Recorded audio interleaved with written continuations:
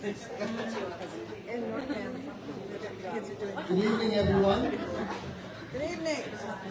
Welcome uh, to the uh, North Reading Candidates Night, sponsored by the North Reading Republican Town Committee. Uh, this is a special night for our town, uh, simply because this is what helps the community grow, be managed, and uh, through the, through the um, individuals stepping forward to represent uh, the, the town needs. Okay. First, uh, I would like to start off with the Pledge of Allegiance.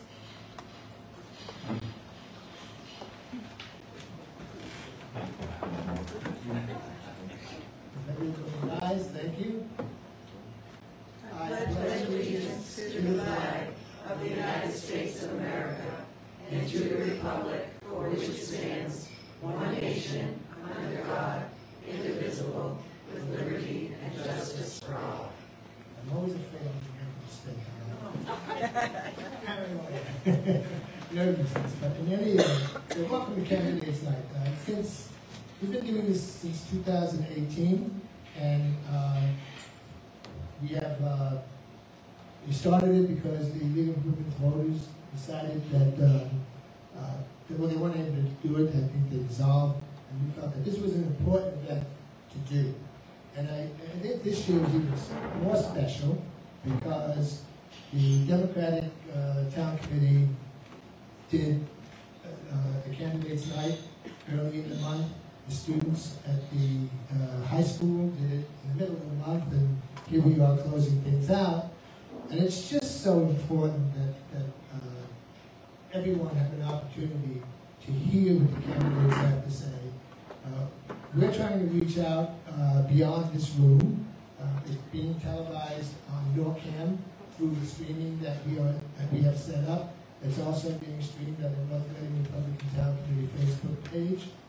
Uh, so, so it's out there and people can become informed because that's what people need to do is to become informed about all the issues in this town.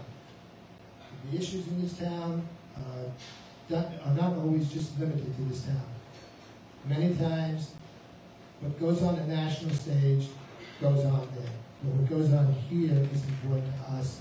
It impacts our taxes, it impacts the education of our children, and, uh, and the growth of our town. There are many things going on, uh, and hopefully people are paying attention. So I want to thank Kitty's, Kitty staff, uh, and I want to uh, also thank Debbie Bergmeyer uh, for allowing us to use this room uh, as a community service. They're not charging us for it. And uh, the gentleman over here, I'm sorry, your name again is? Phil Carbone. Yeah. Phil Carboni.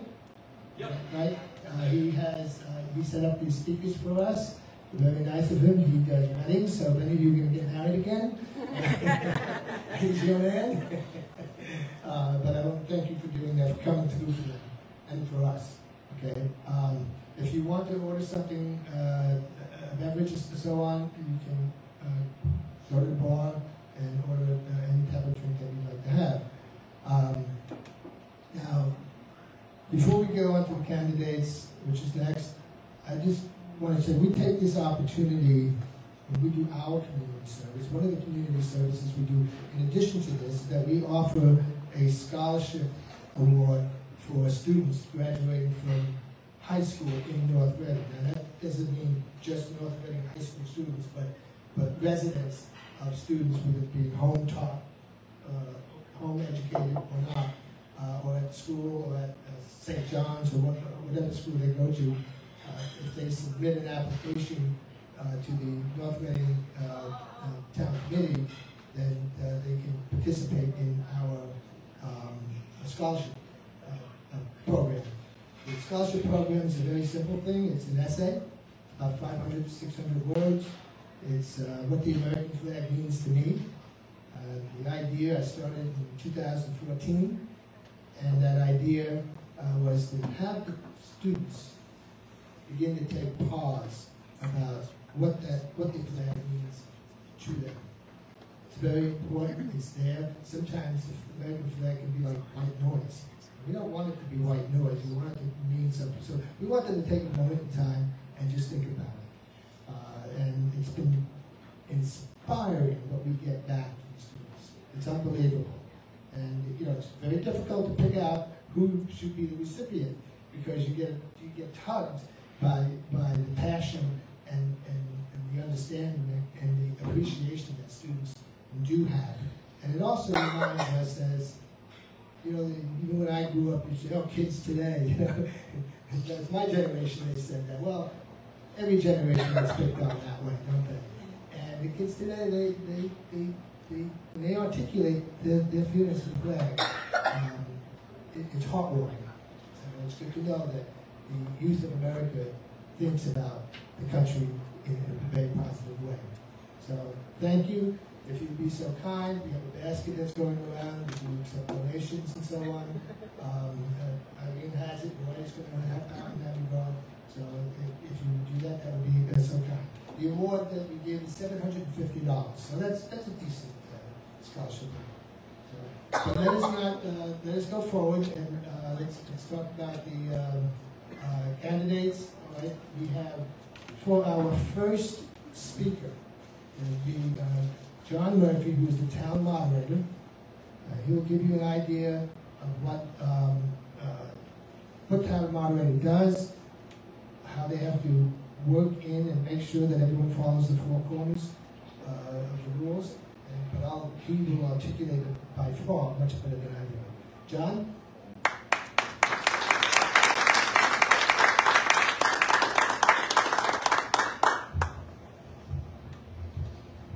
Thanks, Jeff. Um, What I'll do is uh, talk about a job no one else wants. Uh,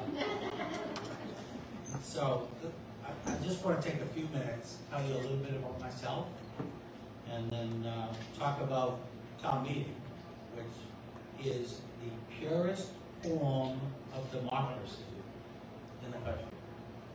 Um, So, for myself, I, I moved here to North Reading in 1995 with my wife and two children.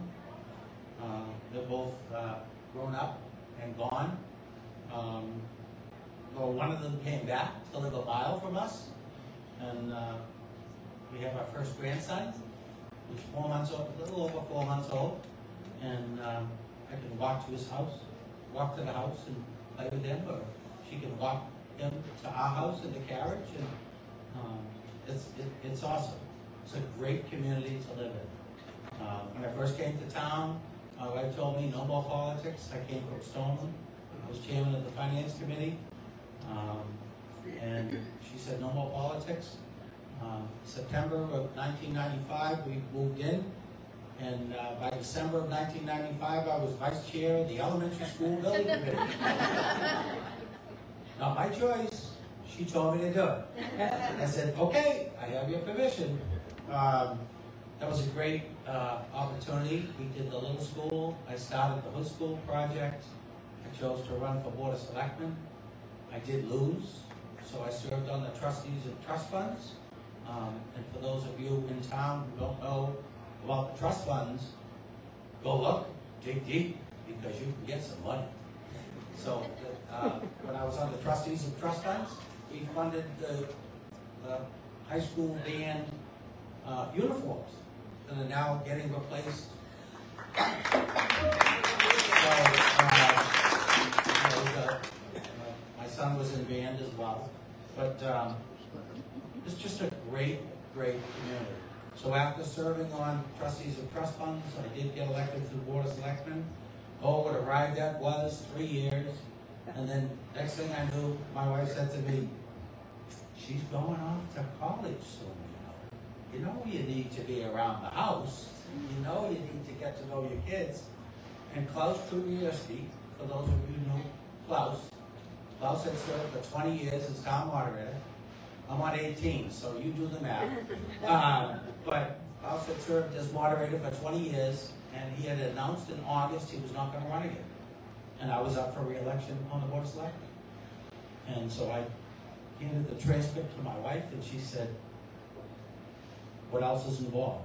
And I said, wow, I get to judge the bikes at the Memorial Day Parade.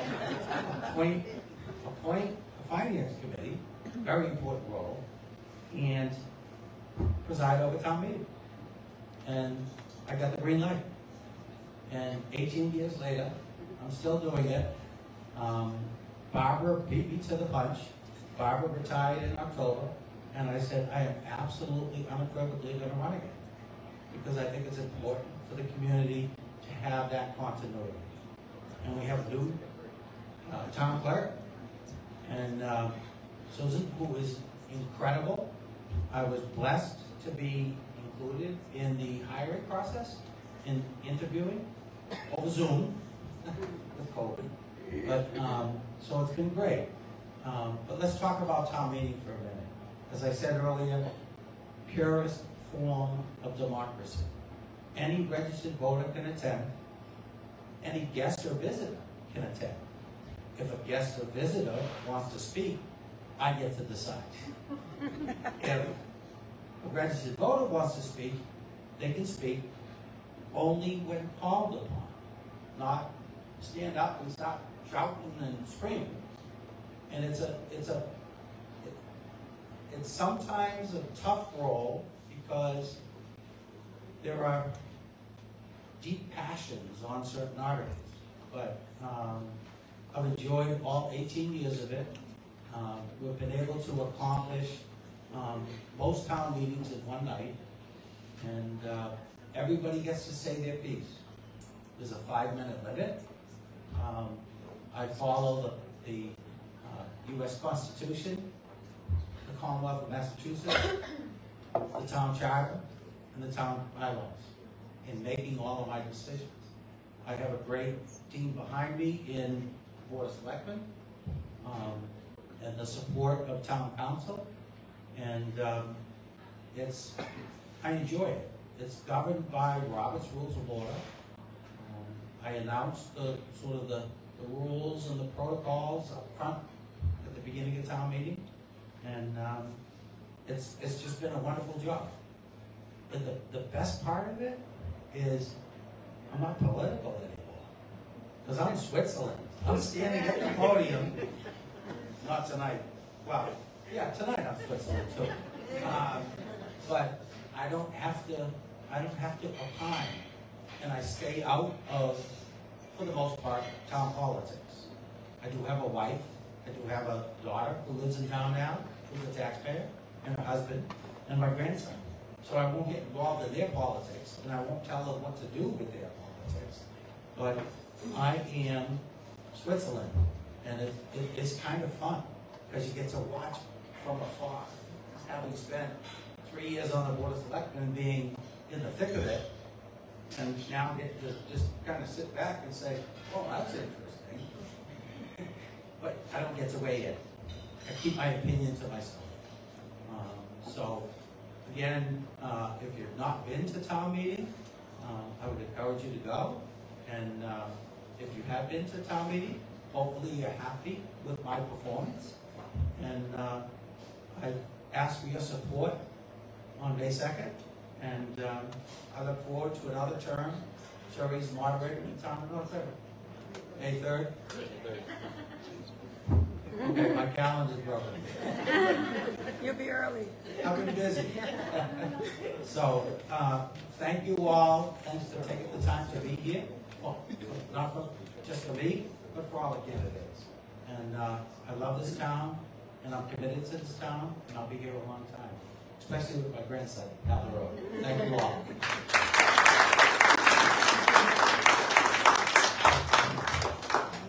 Eighteen years, who knew, right? A Long time. Uh, but he's done a super job. Uh, it was uh, tough to follow right? He was uh, he's there. Was there twenty years. It was tough to follow him uh, at that at that time because no one knew. You know, we were so used to uh, Klaus that uh, um, didn't know. He, he's done a super job, and, and uh, I thank you for all the years that you you have done this.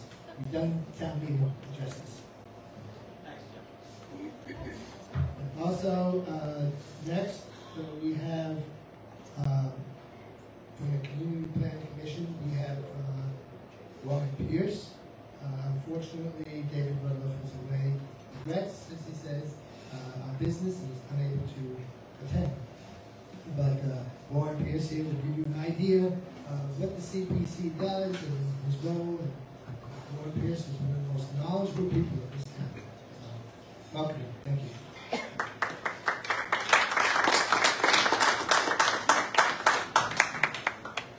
Thank you, Jeffrey. Thank you uh, to the people running this, uh, this gives us a chance to talk to the, uh, this chance to talk to the, uh, to the people and talk a little bit about what we do. Um, So, um, there for a short time. Um, I've on the planning board thirty years now. You guys, you guys really- you guys do a great job, but I said, I can't. Well, a pretty important part of the town in a number of different ways. Um, we, we do subdivision control, which means when people bring a subdivision into us, we have to review it and make sure it meets all the criteria, um, for a subdivision. And they need approval from us before they can build it. And anytime they do uh, lot creations, uh, the customer is saying, uh, approval not required. We still have to review it and make sure that it's a legal, uh, a legally made lot, because they have to register it with the registry of deeds in order for them to use it as a lot. So there's, so there's a lot to that whole subdivision situation. We also do site plan review, which is, which is commercial, it's very business activity. And site plan review, um, besides looking at the, um, the buildings and, and the way they're all situated, you look at the landscape, you look at the buffers to, uh, to neighboring, whether the neighbors are residential or, or commercial, and how we can best, uh, provide buffers for them. Um, Again, as a planning board, our, our primary goal is plan, something that we do all the time. For example, we were working with the, uh, town on this, on the sewer district, and hopefully we can get something put together with that. And we work with the town engineer and the Department of Public Works on the processes that they have. Uh, the building inspector is our enforcement officer, so if we have issues with something that's been mandated, the voted on by the board, the building inspector is the one that goes out and make sure that, uh, everything is done according to the plans. One of the biggest, uh, issues that the state has facing right now is housing. And not just, not just general housing for people, but elderly housing and affordable housing. So there's a lot of pushes going on right now, by the state trying to get more housing, especially more affordable housing. Um, And we're involved obviously in that process. When we do, um, when we do subdivisions, we generally try to get them to give us at least one affordable unit, assuming that the project is large enough to, to, uh, to do that. And that's in our attempt to continue to chip away at that ten percent. Um, The town, the state wants the town to have at least ten percent of their housing to be affordable. And if it's not, then we open ourselves up to, to things like forty Bs, which is when the state can allow somebody to come in and build, uh, buildings, and we've had forty Bs come in before. Um, And so it's really kind of important that we hold on to our affordable housing, uh, uh, which includes the, um, the property over at the Berry Center. So, um,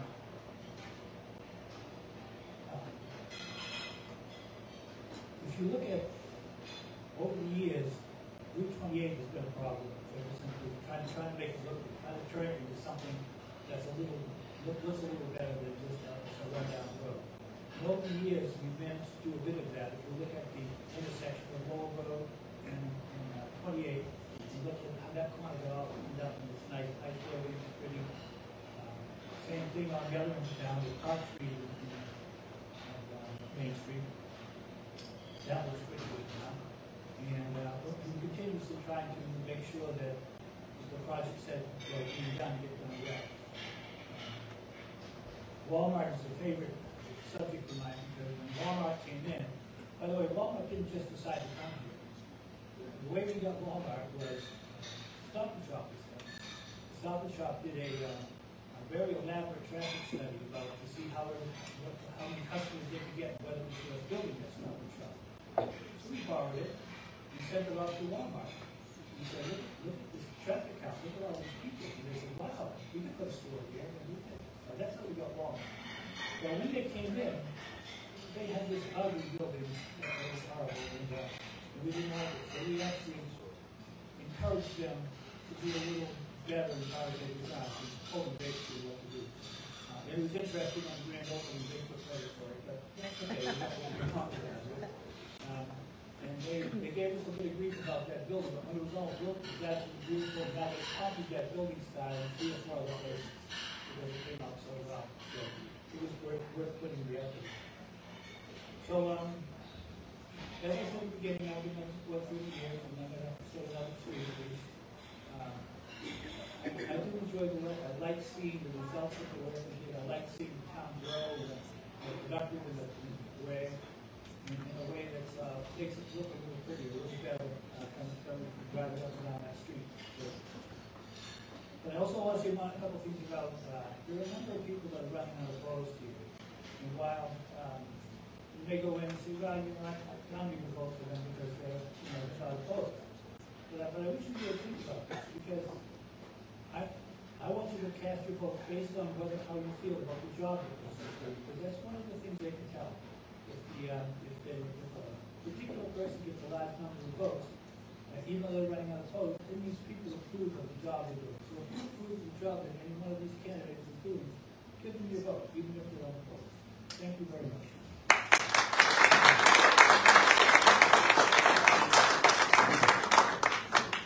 Okay, uh, very informative.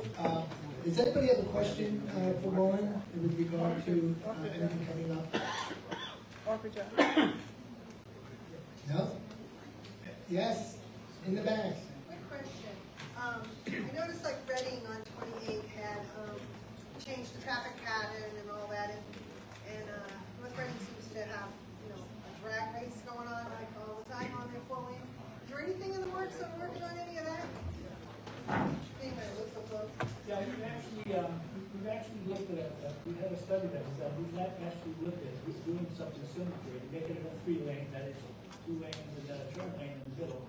Uh, for the feasibility of that, but of course, what we're trying to do is, um, um, put, put together a plan that, that accomplishes that goal, but we're trying to, uh, have it done simultaneously with the installation of sewer, because if we're gonna dig the road up and repave it, we might as well do it when we sewer. So if we can get the sewer project moved along a little bit, and during the process of doing that, I would imagine that we'll be able to do the road similar. Because we have talked about that, and it is a good, it is a good plan, it does work very well there. Thank you. Does anybody else have a question? Okay, thank you again. Thank you for your friendly years.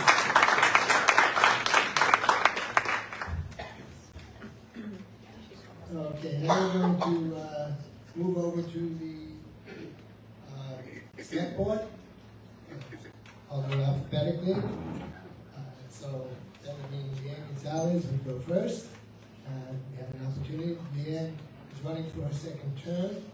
She uh, uh, has dedicated a, a lot of her time to give the best to the community that she she possibly can, and I thank her for that. So, uh, without further ado, please.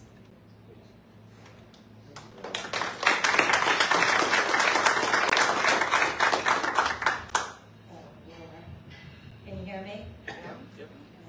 Hi, everybody. Leanne Gonzalez. Um, I guess I'll start also by talking a little about my background. Um, moved here in ninety-three and watched this town grow a lot. Um, came here with my husband, had my daughter in ninety-five, my son in ninety-seven. They went through the North Reading school system. Um, my daughter is now a state trooper, and my son is a rock and roll drummer. It couldn't be any more different.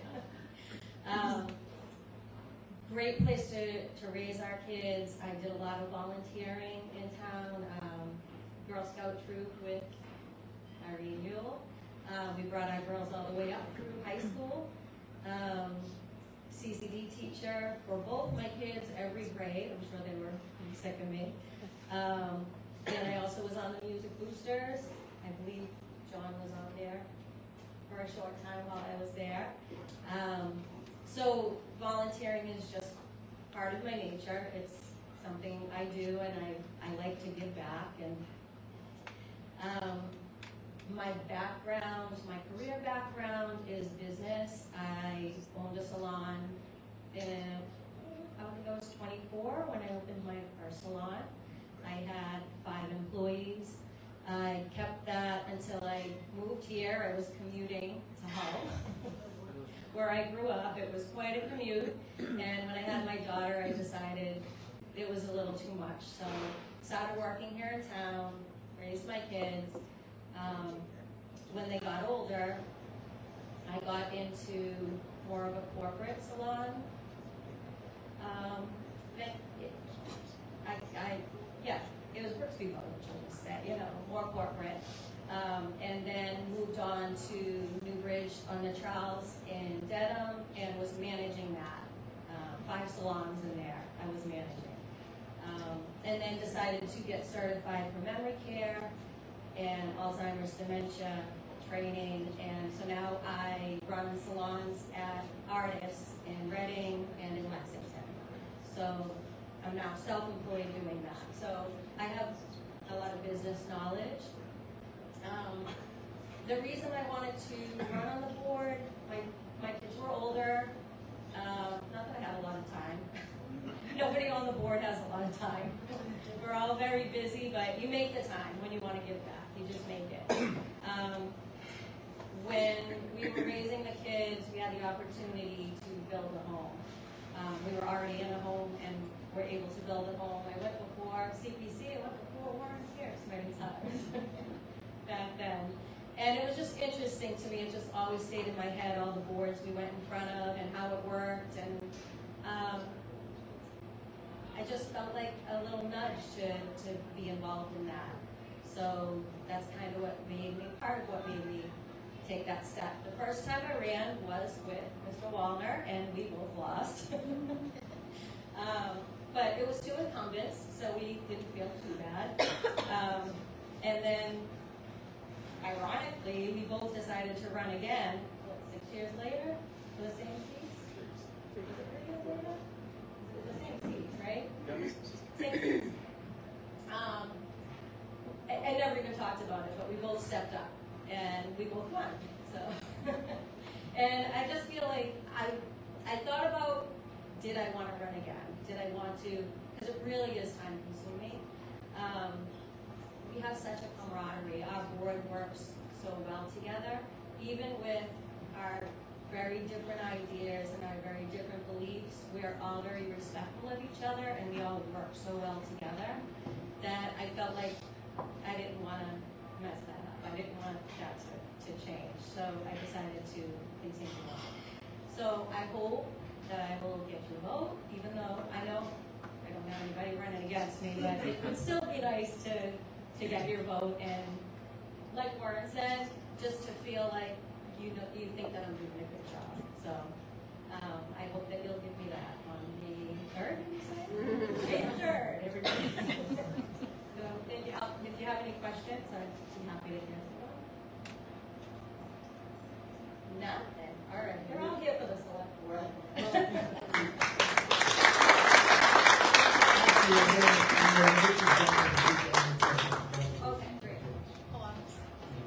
So, uh, next is uh, Rich Wallner. I guess you now know his story because Leanne told you his story. But, um, uh, at least that portion of it, but, uh, uh, I- I've worked with Rich, you know, on many different occasions. He's a passionate person about, uh, North Reading. He- has a vision for North Reading, uh, he has some ideas, and I think, uh, hopefully he'll be able to share some of them uh, with you tonight. But uh, he loves North Reading, and, and, and if, I, if I may say, I think everybody here loves North Reading, and that's why we're here. So I just want to uh, have you come in, speak, and let everybody know what you're thinking.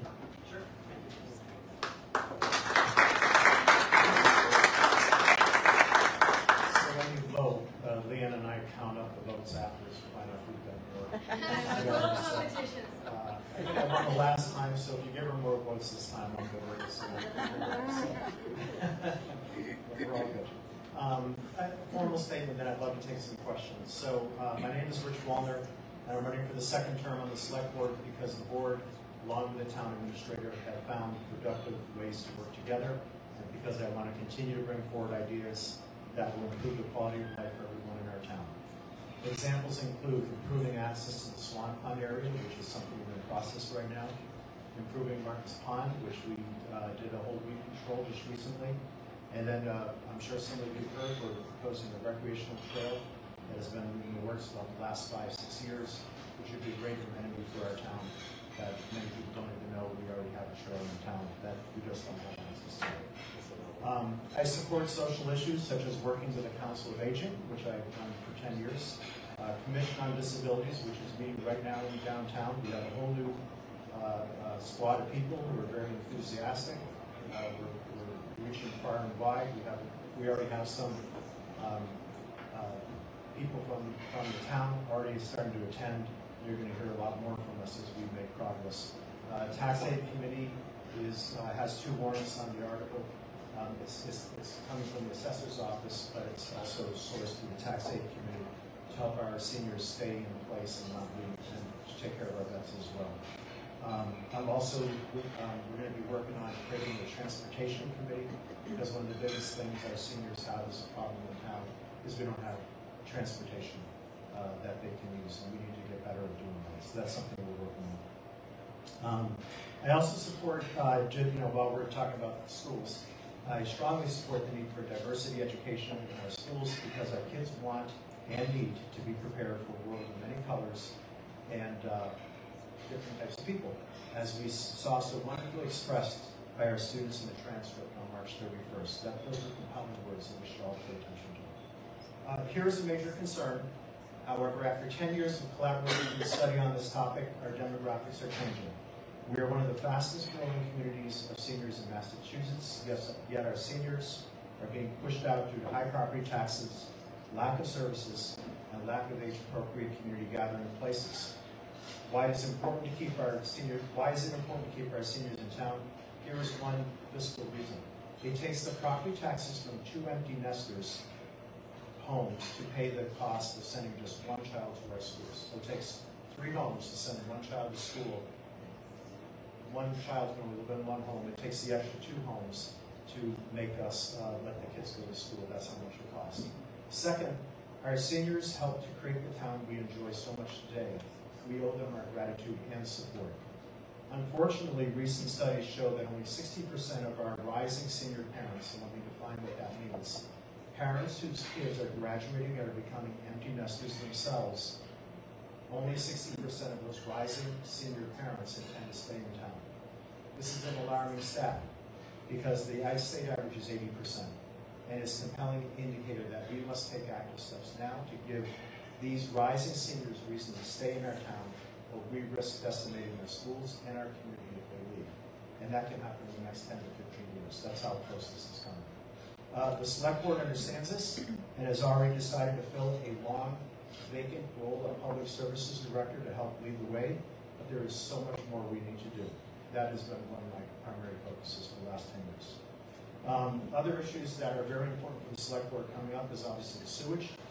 How are we going to pay for that? What's the return on investment? These are, you know, this is, this is going out many, many years that we're making decisions now that we have to uh, get our arms around and think through, and we have good people who are working on it on the select board. And facilities, we have a need to expand our uh, fire station, and we have to do it in an economical way that will work uh, for everybody. And uh, we have other you know, town hall is not looking so great, shelves fall off the walls. You know, there's many issues, and I know that facilities master planning committee is working hard on that as well. So these are issues that, um, you know, it's going to come become come before the select board in the next few years. Um, I certainly have a voice, as everybody else does. And again, as Leanne said, we're working really well together. Um, I have a long resume. If you want to see it, it's on LinkedIn. Don't want to take up much time to do that, so I'm happy to give that to you later. If you want to learn more about the Age-Friendly, um, just go to the NORCAM Facebook page and, and just search um, Age-Friendly presentation, and I'll bore you for an hour and a half, but it's good information to learn. I'd love to take some questions.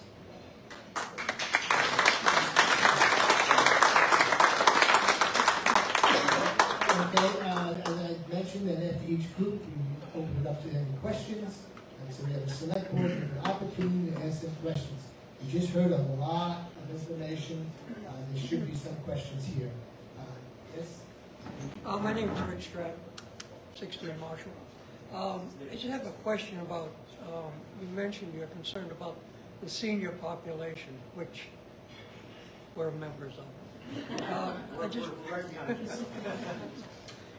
uh, I just wonder if there's any plans before the Board of Selectmen, uh, Select Board, excuse me, um, to develop another senior center, a new senior center. Yeah, the, the, um, uh, uh, many years ago, we defined that, uh, there was, there was going to be a, um, the senior center is what it is. And, uh, uh, probably eight years ago, we defined that we really needed to open up an intergenerational community center. And that would blend together Parks and Rec, vet services, um, youth services, and seniors all together in one building. Um, this is a successful model that you, if you go to Lexington, they have a a wonderful model of that happening. They have like twenty percent of their population is signed up to do that. I've been in there and from nine to three, it's busy with seniors doing their thing, and then from three to nine, it's busy with the kids coming in as well. So there, there is a plan to do that. Um, there is a, uh, I think the popular choice right now is to build it in Ipswich River Park, and that's an active part of the facilities master planning committee.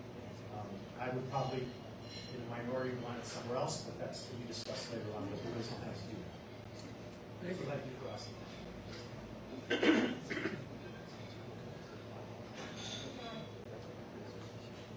Is there any other questions? Are there any other questions, I should say? Yes, in the back? Yes, hi. Um, Just a quick question is, as a rising senior myself, um, it seems to me that one of the big issues for a lot of people aging in North Reading is, you know, they come here for the schools, houses are all quite large, they're not like, there's not a lot of downsizing the space here. Is that anything that you guys have considered? Um, Yeah, okay. So the two questions, so when people are, in June, people are gonna be sitting there watching their kids graduate, right? And they start asking the questions, um, you know, I've had this great connection with my community on the fields, with, the- with all the clubs, everything else like that. And they start asking the question, is there life after kids? And the second question I ask is, do I stay or do I go? Right? And they, they, and right now, we don't have a downtown, which is what CPC's, you know, hopefully gonna be working on. We don't have places for people to overhouse. There's many people and seniors in town who are living on a fixed income, who are overhoused, who can't go anywhere else, and we haven't given them anywhere to go. And that is something that, you know, if you look at the, uh, the, the town master plan, which is covering the next few, ten years, it's about housing, it's about creating a community center for adults, that adults can enjoy. It's about, you know, having this intergenerational community center be a gathering point for people. We have to do more to reach out to the adults in town, or we're gonna lose them. And so it's, yeah, it's, it's, but it's many cylinders to make this work, you know, there's been many, uh, you know, there's, it it takes many aspects to make this all work. And I think we're all getting there. Uh, It's a long-term plan, but I think our goal is to, to make that happen and make the town wonderful for seniors as well. So thanks for asking. I Just wanted to ask you uh, a quick point, question. When you say overhoused, what do you mean by that? I just they're, they're, they're property rich in cash flow. And, and, uh, so we, we have to figure ways to reach out to them, uh, and keep them in town. But a lot of people, just even maintaining a large home is a lot for them. But we haven't given them places to go where they can find a community center where it's walkable, where it's a, a place for them to be. We need to, we need to do that. And it's not, this is not, this is not radical thinking. It's being done in many, many places in the country, in Massachusetts especially. Uh, we have an opportunity to here. Actually, we have an opportunity because we don't have a downtown. So we can create one, we have the space to do that. At least that's what I do. Thank you for that clarification. Yes, I'm just curious, because um, as a military family living in other towns, um, the high school resort, or the high school itself building in previous towns have used it for adult education. And when you talk about trying to keep adults and seniors in, has there ever been talk about using our awesome high school building for adult education classes? Um, Because just curious, that might be something that if you're paying into the tax system, and everybody says, I don't have the school system, but if they had education opportunities at the high school in the evening for adults, I don't know if that's anything's ever been considered. It is, it is. I can answer that one. Okay, I can, I can answer too, go for it. No, you, Okay, Eric? Um, I wasn't sure if you were aware. Yeah, no, I, I am. Um, so there is a, um, uh, out in, uh, Swampscott, they did a combined senior center next to the high school. They attempted to do that, has not it has not worked well. Um, there's rules about using the school. It's, um, you know, there's, there's issues of, uh, paying for it, how you fund it and everything else like that. So what I heard, doesn't mean we couldn't explore it, but, um, we really need to give a space for the intergenerational community center that's separate from the schools. Um, The- only thing I add to that is I've had experiences in communities I've lived in, not to say, you know, the times have changed and, you know, taxes and, and so, again, I don't know what it is, but these were evening classes, anything from finances for senior citizens to wine tasting to, um, art classes, and they were volun, I wouldn't say volunteers, they were probably given a stipend of some sort that was, that was included in the cost, they were evening classes that were in a facility that wasn't being used. So they weren't in the gym, but they were in classrooms and the art. So I, I'm just bringing that up as a possible subject. Yeah, I know exactly what you're talking about. I've done classes like that elsewhere, Wakefield. Um, so, great thing to explore. Appreciate that, and, and we can. Can I just add one thing to that as well? So, um, you know, the, the three things that seniors want to be happy in their communities, they want to live in their house as long as they can. They want to live in their community as long as they can. And they want to lead life with purpose. Now, in Western Mass, there's this thing called the. And what they have is when the kids get out of school, it's kind of like a Boys and Girls Club. They, they have seniors waiting for them to, to work with them, to, to do tutoring, and do things like that. And this is, we have this great opportunity, the success rate of that is off the charts. Everybody's happy because the seniors are happy to help the kids. The parents are happy because they're getting tutoring out in school. Right, and I, I can understand that. We should have, I think, both, Yeah, right? you Right, both. so we have this beautiful school that, again, I, I, I, I hear from neighbors who are elderly that I'm paying taxes into the school and I can't even, you know, there's nothing Right. for me. And this, again, it's just an idea to throw out there. Yeah, no, that's, listen, the public services director, is- the, the public services director, one of their main things is pull together all these different departments, library, parks and rec, all these people. Right. But also to make a safe town. And that's it. Do we have any additional questions? Yes? Yeah, I have a question. Um, I haven't been attending as many select board meetings as I would like to. I'm curious on your take on um, the ARPA funds. What the plan is for the money that's coming into the town, what, what are the best uses for those funds? Can I, can, do you want to answer that? I said, I think, I want the candidates to.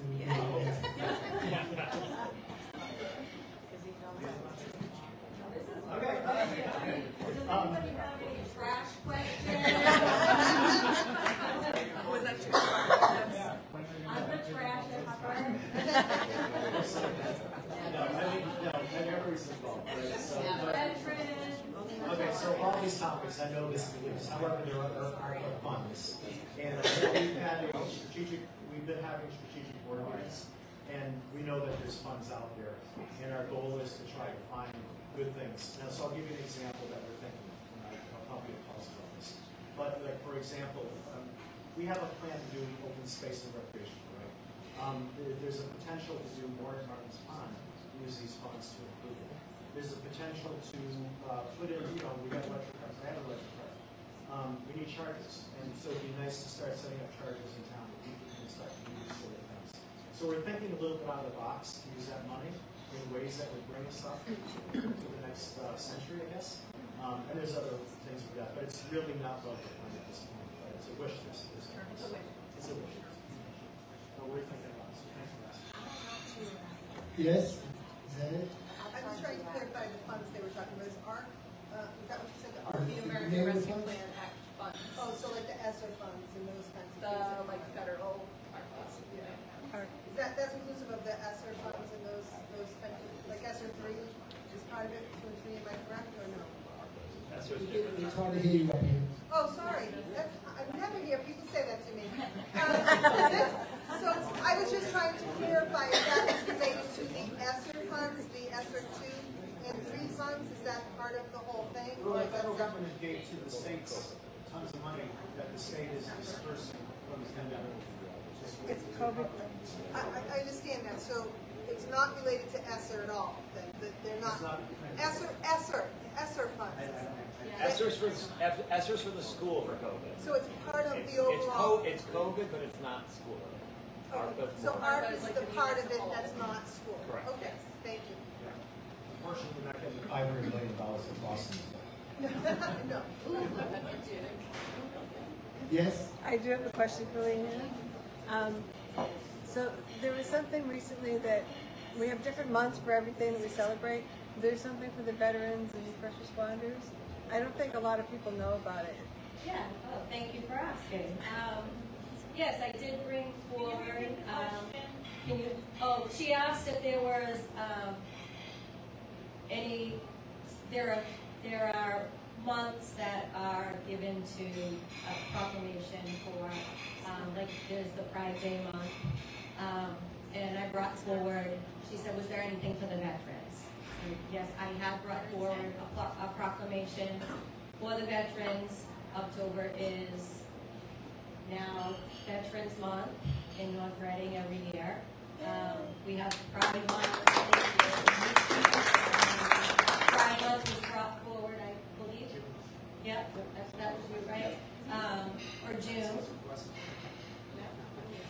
Yeah, yeah, thirteen, yeah, I have to do with that.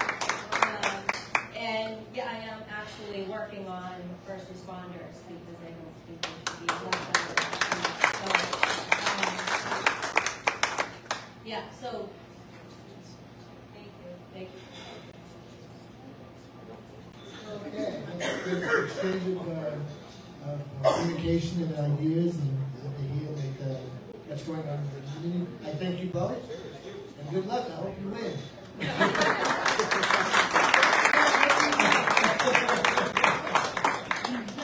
Okay, so, um, now we're up to the school committee, and I was, I was gonna ask them to decide who they wanted to go first and so on, but everyone was so busy socializing that it never got to happen, so I'm gonna have to go alphabetically, okay? And hopefully I know my alphabet. So, but that would mean that, that that Jody, uh, alphabetically by last name.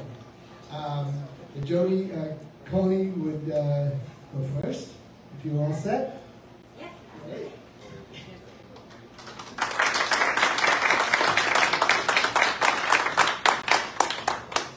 Hello. Um, my name is Jody Coney, and I'm running for school committee. Um, I want to start by introducing myself. Bought my house in North Reading 15 years ago, right after having my first child. I moved less than a mile from my dad and stepmom, so I guess maybe I have that in common with our moderators' kids um, as well. Right after I had my first child, I um, they bought their house in North Reading when I was nine years old. I moved a lot when I was a kid, which made, meant changing schools. I knew when I had kids, I wanted them to grow up as part of a community, play sports with the same kids, or to go to junior prom with their best friends in kindergarten. I wanted the foundation of their lives to be North Reading. I wanted to live here enough to buy a house about 35 miles away from my job in Canton. I worked as a project manager on mergers and acquisitions for almost 15 years in total. I took a few years sabbatical when I had my kids, when my kids were little, but um, when I came back, or when I called them to check to get a uh, reference to see if the same people were still there, um, they offered to hire me back immediately. I was sometimes working on as many as 20 projects at once, so I had to be able to prioritize multiple competing needs. I learned to understand complicated legal agreements and work with lawyers to update them when needed. As a project manager, I saw the big picture in ways that other people who were working on a small specific part of the project could not. I had to do more than find common agreement. I had to convince people who I had no authority over to follow my leadership. I had to do that while making sure that they felt seen and heard, and most importantly, while responding to their legitimate needs and concerns. I want to bring this experience to the school committee. In the past five years, I started working as an operations director and as a chief operating officer.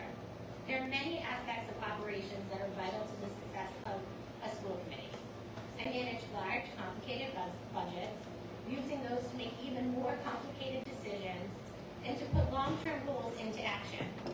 I have written policies that have created a positive impact on their workplaces. I have been part of union negotiations, hiring, re- reviews, and disciplinary processes. I want to use these skills to make North Reading school systems a better place for all of our kids. I think all this experience makes me qualified for the job of being a member of the school committee. I think what separates me from some of the other candidates is that I've attended most of the school committee meetings in the entirety of the year since I ran last year. I have done advocacy work inside our town and outside for eight years. I attended my first IEP meeting for my son about 11 years ago. I have both supported and disagreed with the school administration. I have done that while building strong relationships founded on respect, while creating an environment where members of the staff and administrative administration have reached out to me for my opinion in making policy decisions surrounding uh, my advocacy work. I am committed to using all these skills and experience to build the strongest possible future for all of our kids.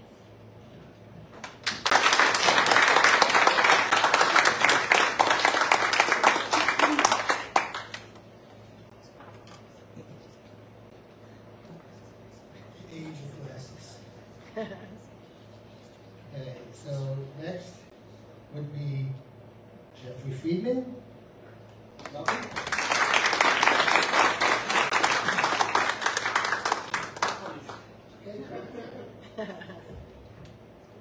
Uh, thank, thanks first off for, for having us here. I appreciate it. My name is Jeff Friedman. Uh, my wife, who's here tonight, uh, Hillary, not Esther, uh, she works in a she works in a uh, nearby school district. She's a school counselor. My daughter is a nine-year-old with a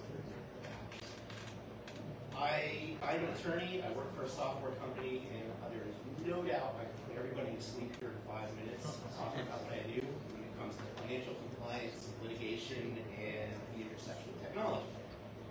That's not really, really the story that uh, you can tell.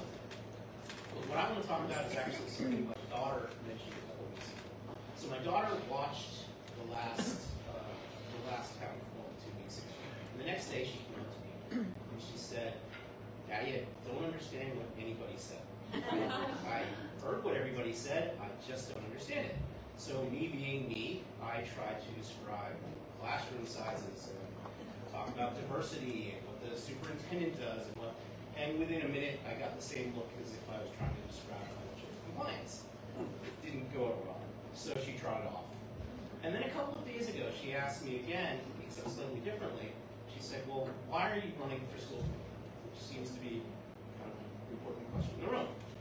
So I thought about it, and I answered. I said, "Because it's important. Because it's important for you to go into your classroom and get a great education from fantastic teachers. It's important for you to feel comfortable trying new things, learning new things, and to have access to things that you haven't had access to before. And it's important for you to feel safe. So my daughter processed that for a minute, hearing maybe it's a word or two, and said, well, it's important that it's important. It's important because it's okay for you to spend time away from home if that's how you feel about it, that it's important. And I mention this not just because I like to show off the fact that I've got a very empathetic girl, but because all of the people here are away from their families right now. All the candidates, everybody here is taking time away from their normal lives because all of you feel it's important too. And that includes the people watching and everybody there. And I mention this because we've talked a lot about what separates us, the differences in, in opinions about what should go on in the classroom what should be taught. To me, there's a unifying principle of we all feel the same way when we think about our kids of I want them to get a good education, I want them to feel comfortable, and I want them to feel safe. And to me, that that is the unifying principle of what we all find important. And I move on from that a little bit, which is tough to girl. Um, you know, the work we do and, and can do will do, it, it goes beyond just what you see in the numbers.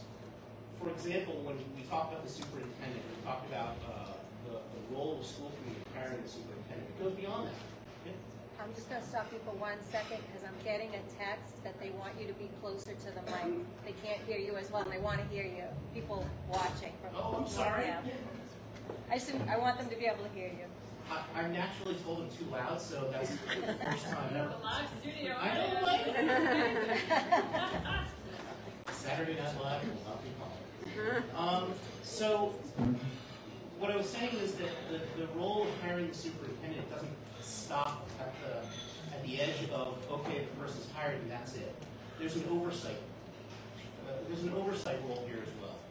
It's making sure that the three and five-year goals that the superintendent comes in with, and, and that contract has actually been renewed for another, another several years, uh, making sure those goals are being met, making sure we're on track. Are there gaps? What, what works to actually fill those gaps?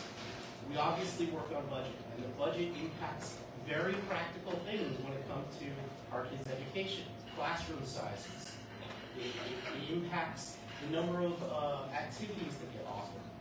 What are the fees that, uh, that are associated? What is the cost of uh, full-day kindergarten, which the, the town did a good job of, of actually reducing? But it's it's all of those practical things that go into it that actually small decisions become bigger decisions that all of which have practical impact to our kids. And, and the thing I'm actually going to leave on is is really we've talked about it in, in past discussions about well, how do we get great teachers and how do we keep great teachers? And how do we how do we make sure that we can find a diverse set of teachers as well? And to me, it all comes down to a very practical answer. And and it's really how do we how do we stop teachers going to other school districts? How do we stop a middle school science teacher going to a, a nearby school district because they're getting more pay? It really comes down to two things. From my experience, it's making sure there's a contract that is advantageous to the teachers. And again, we've done a very good job of that in the past, uh, of trying to bring them up to what the other communities are paying. If you offer competitive pay, people aren't going to leave because they're, they're getting paid more elsewhere. So making sure that the steps and the, the eventual uh, pay is really on par with, with other districts. You've got to keep that going. It's not just a one-time contract. The other thing is once they're here, if you want to keep them here, if you want to attract the, the best people, you give them the right resources, and more importantly, you get out of their way. You let them do what they do best. Teachers, from my experience, having married an educator, uh, and having known several, but I mean, uh, other people I'm sure have great experiences too, will tell you, they don't enter the job thinking, wow, I hope I get micromanaged. Do any of us do any job thinking we're going to get micromanaged and, and get joy out of that? They do the job because they know they can do it, and they know they are motivated for it. So let them do their jobs. And that's really part of our role, is to make sure they have the resources to be able to do that without our interference in their day-to-day classroom, but yet have the things they need to successfully accomplish their. So with that, I will, I will close by saying, uh, it's not my quote, but uh, I'll steal it anyway, saying, uh, decisions are made by those who participate. Please come out and vote on May 3rd. Uh, please use all your votes. there are two votes for, for school committee. Please use both of them because it is important and because we do feel it's important. So thank you.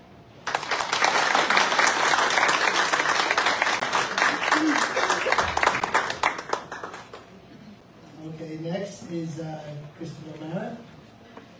O'Hara, I'm sorry. O'Mara. O'Mara. O'Mara. I was thinking Maureen O'Hara.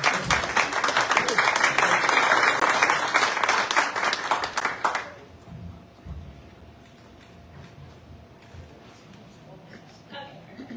Um, so hi, my name is Well, first off, thank you to everyone that um, came here and everyone um, listening at home and taking the time to do that as well. Um, my name is Kristen O'Mara and I am running for all of the children of our community. Um, all of North Reading's children deserve a top-notch education that will prepare them for the complex, technical, and competitive world that awaits them. I want our schools to continue to be a safe and nurturing place where students can respect one another and become strong, independent, critical thinkers.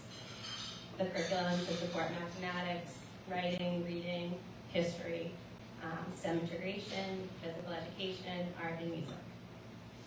My husband and I moved to North Reading 10 years ago because we wanted to be a part of a community that had a highly ranked school system, knowing we would grow our family there. I'm a proud mother of two sons. Tyler's in the second grade at the little school, and Zachary is in preschool at the Hood Elementary School. The COVID pandemic closed our schools and forced parents to participate in our children's education. In collaboration with a few other first grade parents, we decided to create a pod learning environment where we helped deliver the daily lesson plans and create a fun environment where our children could socialize and be excited to learn. This is an example of the level of commitment I will give as a school committee member to bring our faculty, students, parents, and community members together to ensure excellence in student achievement. This experience opened my eyes to how important it is to help, support, and preserve our public education. A little bit about my background. I attended UMass Dartmouth and earned a Bachelor of Science degree in Human Resource Management and Finance. After graduating college, I worked at Children's Hospital Boston and enjoyed being part of a team that made a difference in many lives.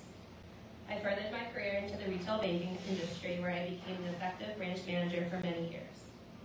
These experiences have strengthened my leadership and financial skills that I can apply to challenges and offer problem-solving strategies to meet the needs of the teachers, the administration, students, school budgets, and also school district goals. I've been involved with the low school PTO since Tyler started kindergarten. I'm the treasurer on their board and I am committed to accuracy, transparency, and timeliness to maintain the finances and set the budget. Education is one of our most important community investments, and our school committee's actions affect our town's reputation. Our children need us, and they need our support to foster their growth into becoming creative, responsible, knowledge, and kind individuals who are prepared to face today's ever-changing world. Thank you.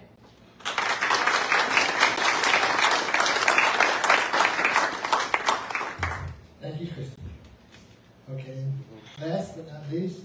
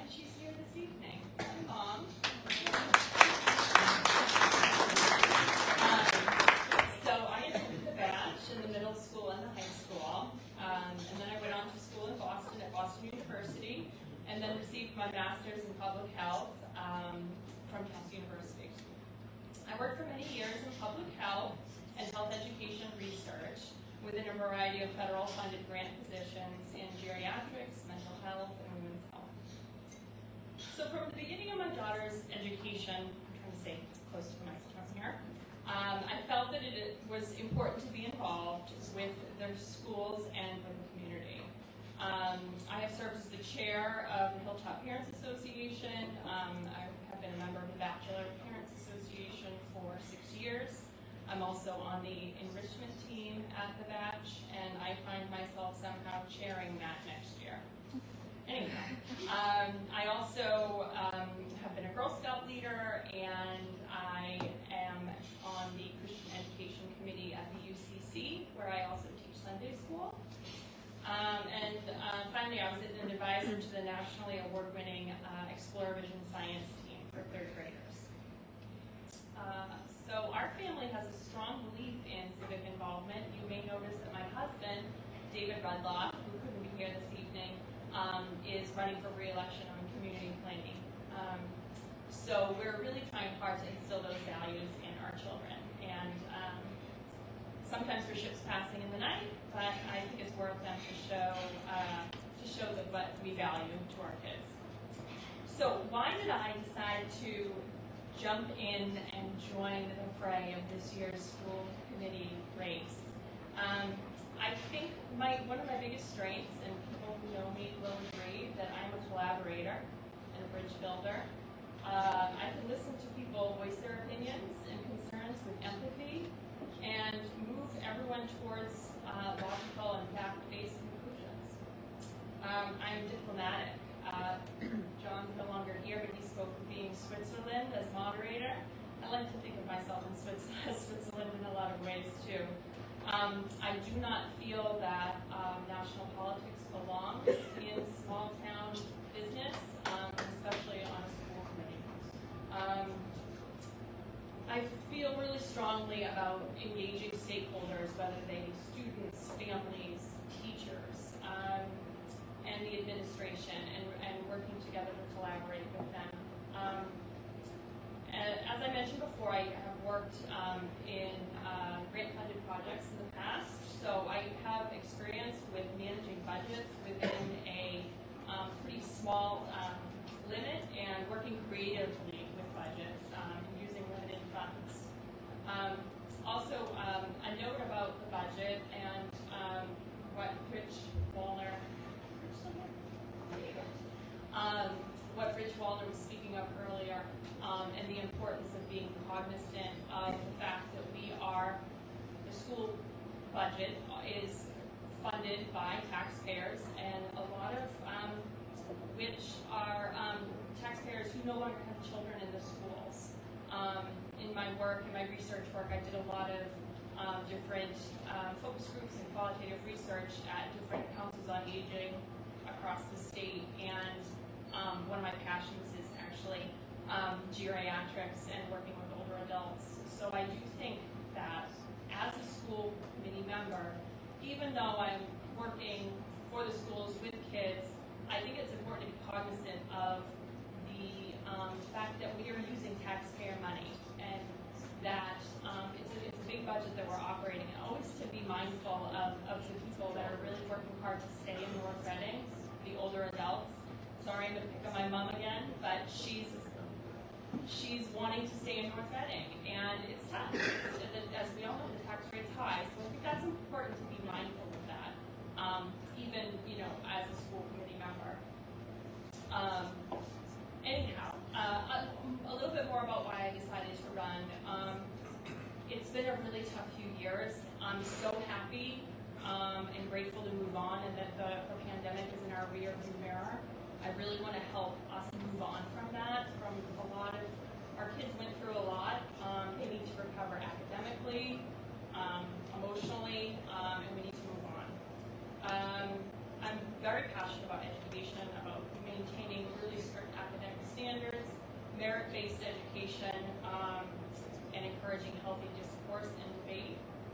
Um, I believe in a strong classic foundation to education, including literature, science, history, civics, critical thinking, um, and I'm also very passionate about supporting the arts as well. Um, so, again, I think of myself as a bridge builder. I would like to model and encourage an environment of resilience and unity and help the students of North Reading to create a common culture where they are seen and valued and feel as um, they are an essential member of the um,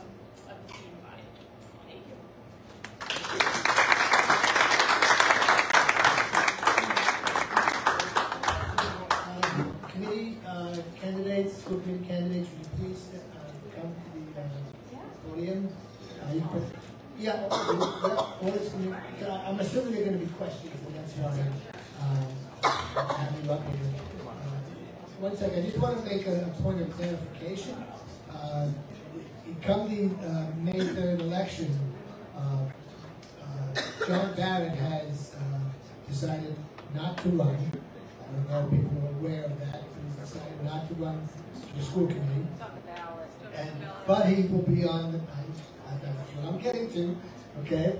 Uh, uh, he will be on the ballot, okay? So just to let you know, he did the, uh, uh I spoke with the uh, town clerk and she did inform me accordingly. So I just, just wanted to let you know that, okay? And, and, and if you, and if you do vote for him, then that won't, uh, because he's already said, notified the town clerk that he's not running, that, that vote would not be, uh, counted. And if he were to win, then that seat would not be filled. And if that seat's not filled, I believe that would fall into the hands of the select board at that point. Okay, that's based on my conversation with the town clerk. So, um, Jeff, that is not what she's recently told us. Because we also inquired and we were told that basically if he does win a seat, he can accept or decline. that's not what, okay, then there's con, Um, that's I, what she I told just me. want, I, yeah, I just want to clear up. Hi, I'm the person that actually went to town. Yep. And I talked. Why is it two? I spoke to him one-on-one. No, so, yeah, we that's what we're trying to get, conflicting yeah, information, yeah. I But that's think what she, that's the way she explained it to me. Yeah. Can I say Yeah. So So, I went down there yesterday morning. and I- Come closer to the mic. And I wanted, and I asked to see, because it's public knowledge, if John submitted a written request. And there, none exists as of yesterday. But it doesn't matter because he didn't submit it before the deadline. The deadline was March thirty-first, and he did not submit it then. So he can say whatever he wants to say, but he will still be on the ballot, and he, if he has the votes, if he's the first, the highest, or the second highest, he will still be able to go on the school committee if he chooses to do so. And she did tell me that, to my face. And I'm not trying to call you a liar, but that is actual facts. What if he declines? What if, What if he declines? if he wants to decline, I'm pretty sure I looked it up, there's a law that supports this, and it says that you have six consecutive days to write a written letter, sign it, get it notarized, and pass it into the town clerk. Now, I think the school committee does have, and it can do something maybe with, I don't know, I've heard something about, I don't know, there's, some- I think I'd ask Scott Buckley to ask. I I think, I think it's a, if he declines, I believe it's a joint selection of the select board and That the is, school. that is, committee. what- yeah, That is that's the correct. next step. I heard. Yeah. Yes. yes. Yeah. It will be a joint selection of the school committee and the do. select board. So there was some confusing information there. Um, uh, so, do I have any questions for the school candidates? Now, this is Q and A, question and answer, ask and listen. I see a wild hand going up on I'm the. just kidding.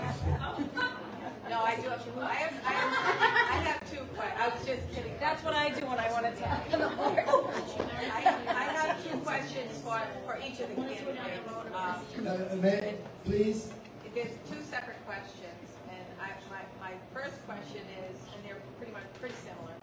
I, I would like to hear each candidate's position on, and if elected, what actions they would take involving curriculum choices at our schools. And the second question is, I would like to hear what each candidate's position is on what books we have in our school libraries, all of our school libraries, and if elected, what you would be doing, what actions each of the candidates would be doing in terms of either censoring, removal, or otherwise with regard to library books that are available for our students. did you guys get that?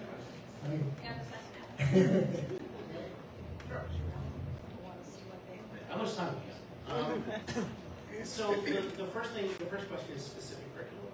Uh, in, in my opinion, the, and my answer to be similar though. Uh, in my opinion, the school board should not be making specific curriculum decisions. So, um, something, something that I, I mean, I would love to be an AP English teacher.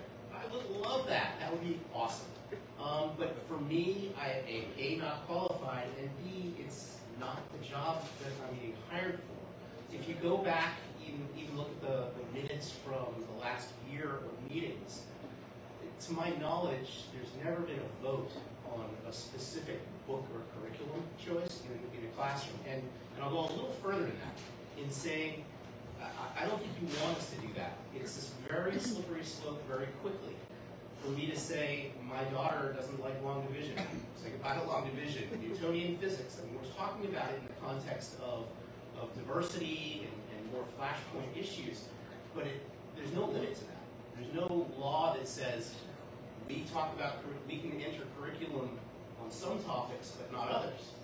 So what's to prevent me from saying goodbye evolution, you know, goodbye history of colonialism in, uh, in Europe? So for me, pretty obviously, I, I don't think that's where we get involved, in my opinion. second thing is, same thing on books, you know, I, I don't think there should be up or down votes on which books. Obviously, if there's specific issues on specific books that violate something else in state law or federal law, someone should bring it forward. But that's really the principle, or it's the superintendent that really would oversee that first, again, my opinion. But we shouldn't be up or down voting specific books. So I'll, I'll leave it there after that long-winded answer. Do you want us to all do curriculum and then, or, oh, both things? Okay. Um, so first However you want to answer. as this air board report. So I think, you know, being part of the committee is, um, you know, it, it's about um, consensus building. You know, each of us is just one member, if we were to get on, of the, you know, multiple member committee. And, um, my, I mean, for curriculum, again, like to Jeff, I'm not a teacher, that's not, I listed what I've done in my past and that is not it. Um, I mean, I do want our kids to be, I hope the curriculum would support reading, teaching kids how to read and write and math. Um, we want our kids to be smart, I believe, when they get out. Um, so as far as like my opinion, that's, that's my opinion on that. Um, I think they should definitely learn about the history and what's happened. Um, we can't, we shouldn't be, um, you know, our past of the history of our America is what it is, and I think everyone should learn about that um, in age appropriate. Um, but I definitely don't think that as a school committee member, we have, I don't think it's even in the role for us to pick and choose the curriculum. Um, I think, again, it's more like Jeff said, if there's a particular issue, something that, like a student, a teacher, a parent, we all maybe could all sit together and talk about it if there's a problem and collaborate with administration um, to solve that problem and work how we can make changes um, for that. But it's definitely not something that I think we can just decide on our own for. Um, and then books is kind of the same thing. I mean, I sadly I haven't probably been in the library in a long time. Um, so there's that. Um, I probably should though. And I know Katie is at the library, so I should probably go visit her and do that. That's on the list. Um, so I mean, as far as again, I think it's the library is the same thing. If someone has a problem and they can bring it forward to us and feel comfortable in that space, and again, not you know for the whole committee and work with administration and go from there. But um, I I wouldn't go picking books out. I guess. Hi there. Okay, so to start with curriculum. Um, first off, I would say that I um, have a great deal of faith in our teachers and our administration. Um, I've said before that every year I think that I couldn't get luckier with the teachers that I have gotten, or my kids have gotten, but, um, and it, I'm, I've been proved wrong many times. We have amazing teachers and they are light years above what I, what I could do in terms of teaching. And I'm so grateful for that. Um, and I also, with the administration, I was lucky enough to have my kids start at the batch under um, Sean Colleen, who's now um, moved on to administration um, for the whole district. And I was so, I was sad to see him go, but I was really grateful that, that um, my kids are going to have his influence all the way through high school because I have a lot of trust in um, Dr. Daly and Mr. Colleen, and I, I do think that their job is they're educators. Now, in terms of curriculum choice, certainly I, I think it's interesting that, to be apprised of it um, and to review it, but it's not my place to choose or select. Um, and sa- same thing with, with, with books. Um, I think that literature is so very important for teaching us lessons um, from from uh, current time, um, historical. I mean, it is deeply important. Um, you know, um, one of my um, friends here was speaking about how um, you know you teach history with the warts included. There's a lot of literature that has the warts included, and I don't think that that should be limited or taken away. Um, if there was something specific that was inappropriate, um, or somehow, um, especially age inappropriate. I mean, I have young kids, so I mean, that's sort of, I'm thinking of that in some way. Then that, I believe, would be brought up to the superintendent and us as, the school committee to review. But I would certainly never never condone going after specific books unless there was a specific issue. Um, books are my one of my greatest loves, so I don't want to go after books. um, Sure, thanks. Um, I think that we've touched on a lot of good points, so, um, but I think my opinion is that the role that school committee plays in curriculum is in funding curriculum. Um, I think that a lot of times that, you know, if we want there to see changes, like updated in how we're teaching different subjects, that's where we come in. It's not selecting the exact curriculum, but saying like we will support this being updated to reflect whatever new things are coming up in all different kinds of, in science, in mathematics, in, you know, civics, whatever is happening, we need to make sure that there's budget for the kids to have a, as current as possible um, curriculum, and I think that's where the role of school committee plays in curriculum, not necessarily selecting it, but making sure teachers have access to the best curriculum to teach um, students the most up-to-date information that is available. In terms of books, I think books are awesome, and I am a huge fan, and I think that, you know, um, you know, my kids take books out of the library, and at, as, at the middle school, well, mostly my daughter, my son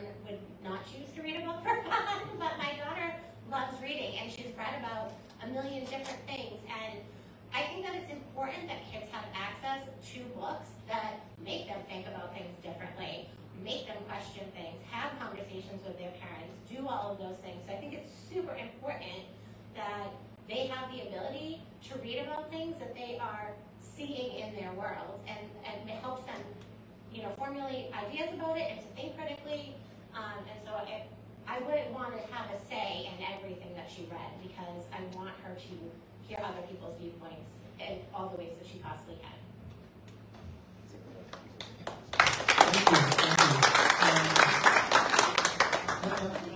Uh, yes, in the back. I'm John's wife, and um, I'm kind of here as part of his constituency. And what I'm hearing is, I think, a miscommunication, probably maybe on his part, that, um, and, I, and I've heard um, on social media and, and things that he's for book burning and um, censorship of libraries, and that is not what he's looking for. What he's looking for is transparency, so parents can have conversations with their kids. And as one of the candidates, um, I don't know if it was Noel, that if if it's you feel it's age inappropriate for your child, that you have the ability to know what is in the library, what is being in the classroom. You know, these are sometimes we're talking about young kids kindergarten, first, second, third grade. We may not have that in our school system, but when we have asked for the card, you know, what's in the library, we've had our hands up. Look, we're not going to tell you. So that to me is a red flag because parents who have supported John, and why I'm here because they're like, well, who are we going to support? And it's that transparency in the school system because they know other schools. I'm sorry. Yeah, I, I just want to make sure, do you have a question? Well, all right. So my question is, yes, because I'm, I, this is kind of a bridge over kind of what Katie had said and, and what, what's being said here is, uh, because I want to set the kind of the record straight, right? So this isn't about, uh, or I'll tell you my question. Um, it's, it's a two-part, yes or no. Um, do you feel parents have the right, parents have the right to know what is being specifically taught in schools and have easy access to books and curriculum, including what's in the libraries, not, mind you, as many would have you believe, for book banning or censorship, but to assure balance and the ability for parents to have conversations with their children. You all mentioned that. To assure, assure age appropriateness for books and curriculum. Secondly, to parents have the right to opt out for instruction and programs that they find offensive or objectionable or feel is inappropriate based on age or against their faith or moral values. And we have young kids in the system, and we may not have it, but there are other school systems that have, that we know in Massachusetts. And so parents just want to have transparency so they can have conversations with their kids. So, so your, your question is Do you feel Do parents that, have the right? that parents have a right to transparency and to know what's being taught in the schools and to be able to opt out if they find it objectionable based on faith, age inappropriateness, moral or ethical values? And And, and I will add to this that we are a room of mixed people, and yet I'm friends with a lot of people here on different ends of the spectrum. And I think we need to be able to, to acknowledge that we're all different and allow, the school should be raising our kids, we should, and let's have, right. be able to have a conversation about I wanted to answer, I wanted to answer your question. Okay, you have two questions I wanted to answer. We'll start with you. Sure, respectfully, I'm not gonna answer yes or no, because that was like a forty-five minute question. I know. So, uh, so here's the thing, here's what, here's, as am I, and I am never gonna fault you for your passion. Here's, here's what I think about these topics, okay? Um, a couple of things. One, we can't say we want to get out of teachers' ways that we trust our teachers, except for on the things that I know I'm smarter than them on. That isn't a way to run a school committee. That isn't what I think any of us should do. I think that, no, I think that we have to say that we trust our educators to be teaching our kids age-appropriate things. We trust our librarians to make sure that those books are appropriate. Faith is a big part of my life. It is not something that I don't understand or that I don't support. But it doesn't mean your that your kid, if they that they should not hear about other viewpoints. And if they're not, you know, I heard you say you, we should be raising our kids. We should be raising our own kids, and I 100% agree with you. But what where I differ is, I think we should make our home environment a place where if a kid reads something that they don't think matches my values, they come to me and say that, and not that I stop them from reading it.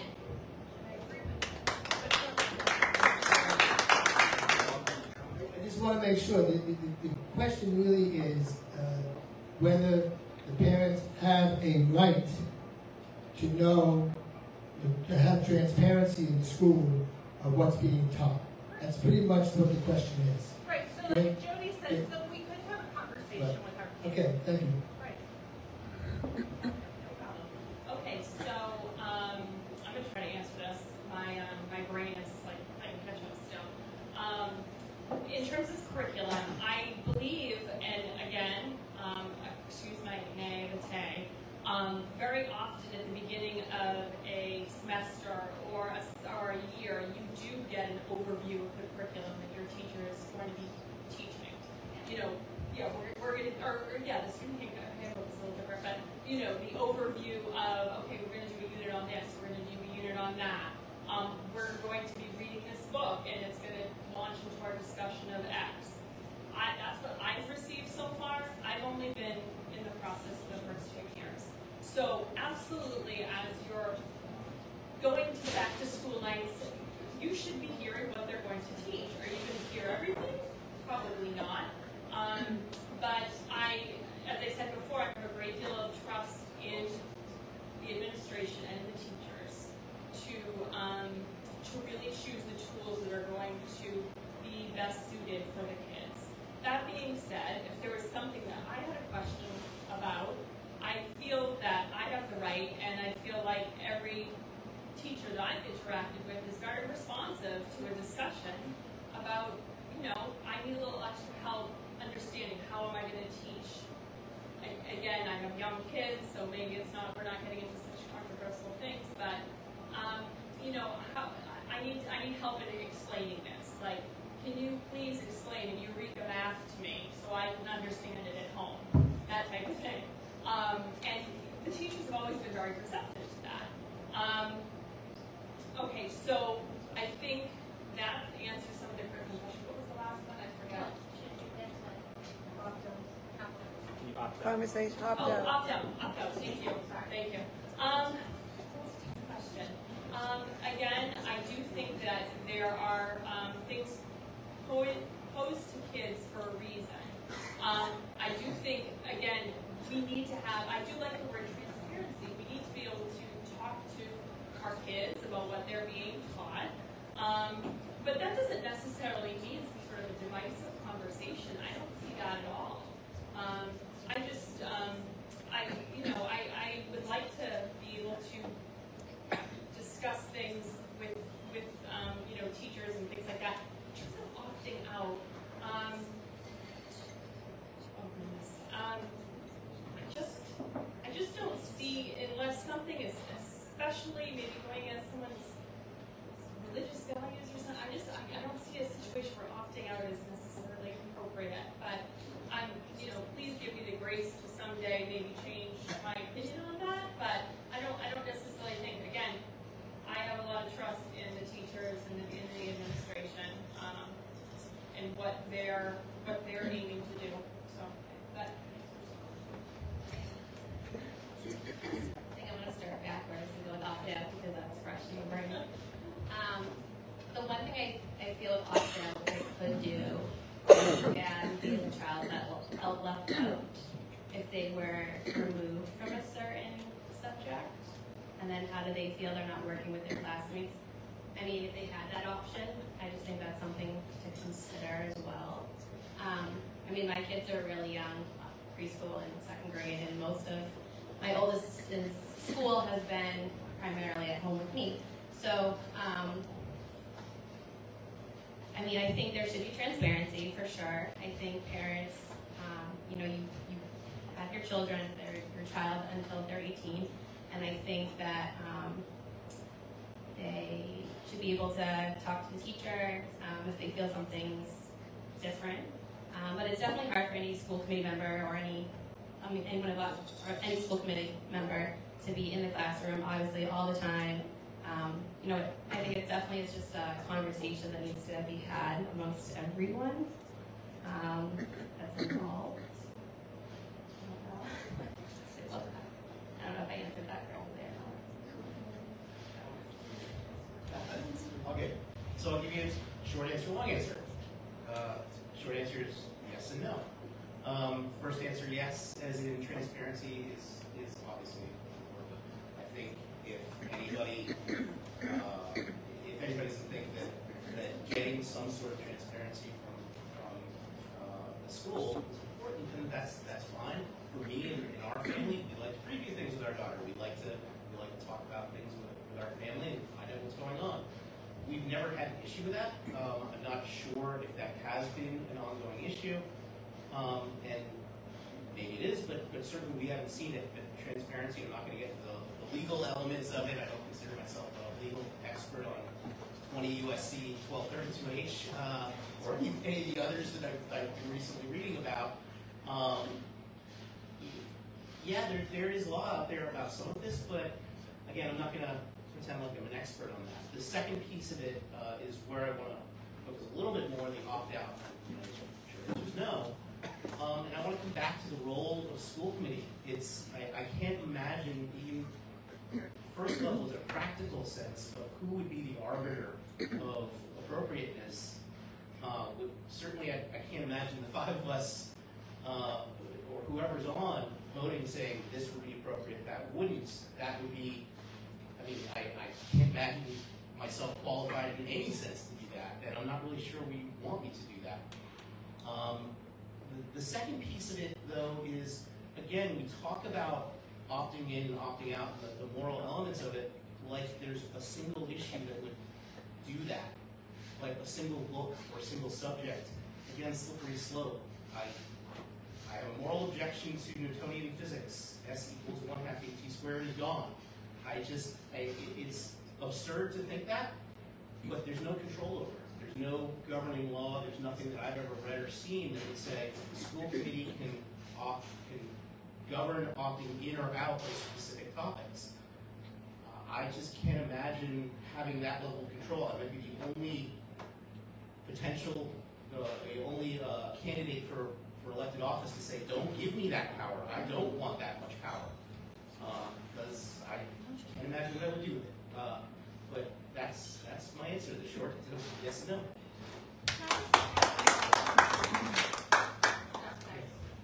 I just want to add, because I think all of these points are really great, and I, but I do want to add to the opting out piece.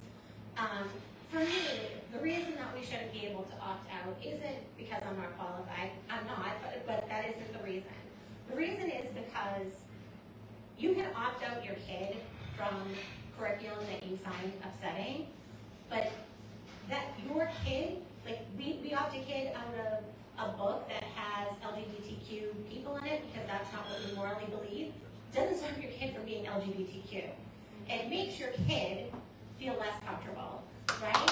If you want, if you want other students out of history because you think that the narrative in that history book isn't making, for whatever reason, if we're pulling kids from those classes because we don't think that's the right version of history to teach our children, then we are not giving our children a complete, like your, we have to say we know, and the school knows what's best to teach our kids.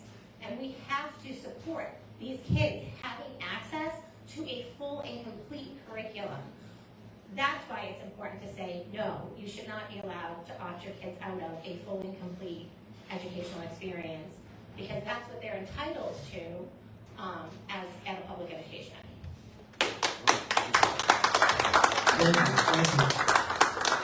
Um, Yes? I just have a follow-up question on curriculum, actually. Um, If there's anything I believe in, it's autonomy, believe me.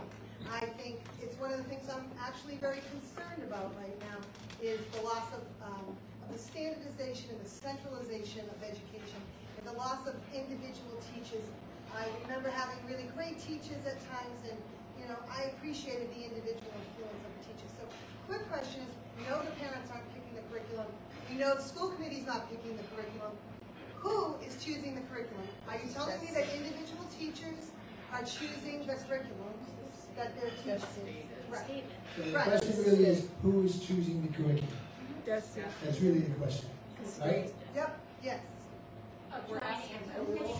Well, each of you. Is there one right answer? No, we Is have there- a- Is there one right answer to this I mean, I question? think that, um, Because they are all school committee candidates, I'd like to know what your answer is to that. But it's It's not a subjective. factual answer, it's not a subjective It- question. it- it- You know what, it actually. Excuse me, excuse me, knowledge level on this It- it- question is excuse me. important. The Q and A is between the candidates and the questioners, okay, I like keep it that way, thank you. So if the question is, do I know how curriculum gets chosen? Um, there are DESE guidelines that are set forth, but we also have, um, a, Mr. Pauline is like the curriculum, like the assistant superintendent, his, a big part of his job is the specific curriculum. So the schools say, I mean, I'm sorry, DESE says, here are the big kind of blocks that you have to teach, like, you have to cover in civics, like the three branches of government in eighth grade. Um, and then we pick the exact correct, or, I'm sorry, Mr. Colleen, not we, us. Mr. Colleen picks the specific books or programs or whatever, how, um, that he thinks would best, um, meet those requirements and be best for our students.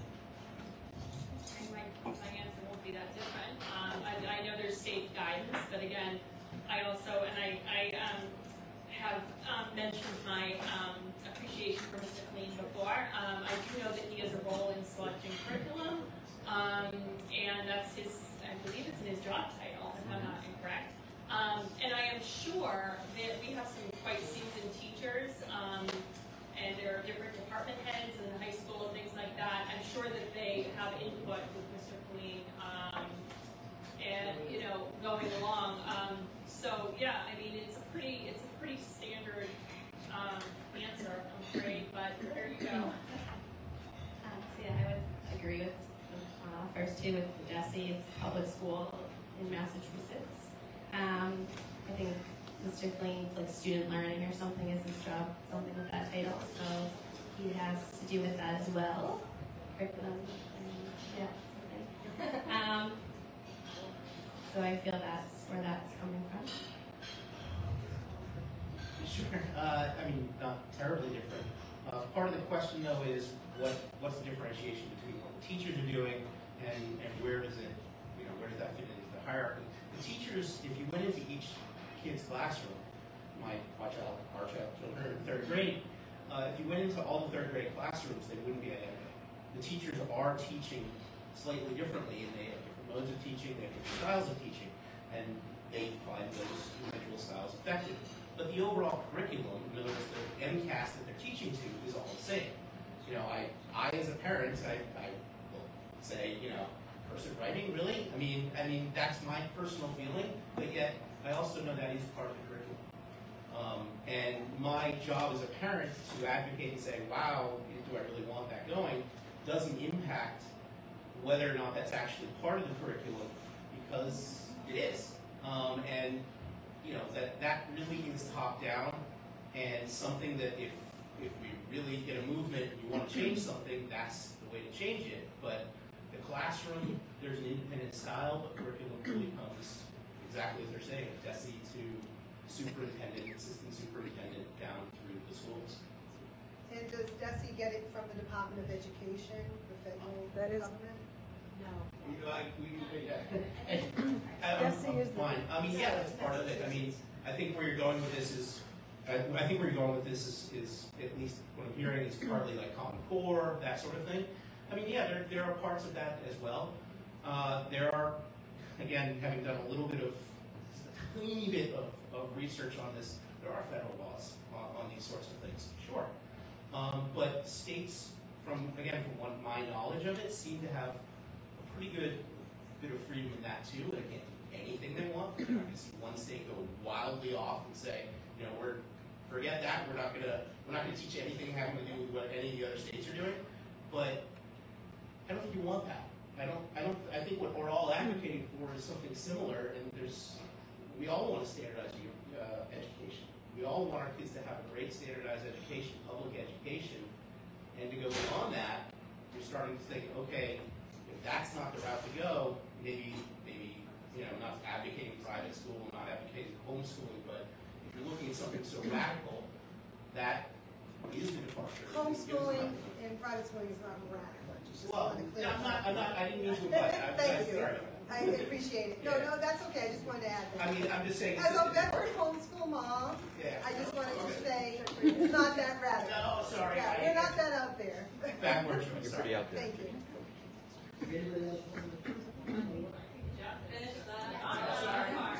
Okay, okay. Does anybody else have a question? The Gentleman in the back? That's you, you are a gentleman, you're of age now. Fantastic, thank you. Um, my is Noah Spicer, uh, student of North Reading Schools, son of students of North Reading Schools. Um, I have a question about the fees that are involved with different student programs throughout our public schools. Uh, for most of high school, uh, I was not able to park at the high school due to the parking fees. Couldn't afford them. Um, I'm lucky that I was able to afford athletic fees uh, and able to compete in athletic uh, competitions at the schools, but um, a lot of students aren't. And my dad was able to compete in North Reading Public Schools on the athletic teams, eventually earned a scholarship which paid for a college education he would not have been able to otherwise afford. Uh, if he had gone to school in North Reading today, he would not have been able to pay those fees. He would not have gotten that athletic experience and possibly wouldn't have been able to get the scholarship he later earned. Um, do we have any, uh, what I'm trying to ask the school committee is, is there a way that we can ensure that students are still able to get the opportunities that they might not get if they can't afford it? I understand that there are support mechanisms, but I still believe students are dissuaded from certain opportunities if they can't afford them in this town. And, and before I turn it over to them, quick question, when your dad went to school, did he have to pay any fees? Do you know? Not athletic fees, he did not. No athletic fees, so that's a more of a modern time uh, issue, uh, thing, right? Okay, that, I just wanted to uh, Yep. clarify that. I know when I went to school, I didn't have to pay any fees, so, you know, but that was a long, long time. Does anybody want to answer that question? Go down the line. About fees um, before it was cool.